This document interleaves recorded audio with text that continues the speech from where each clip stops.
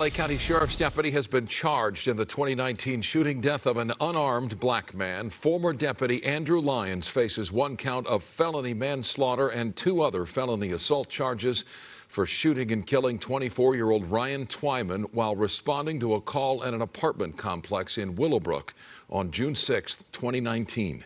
Investigators say deputies were approaching a car Twyman was driving when he put the car in reverse and hit the gas. Both deputies opened fire and the car came to a stop.